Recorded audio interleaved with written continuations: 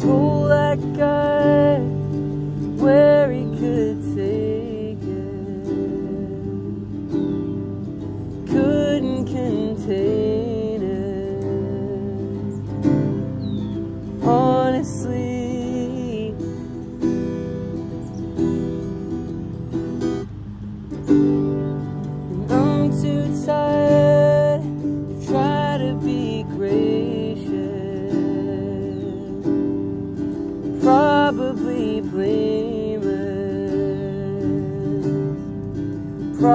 please.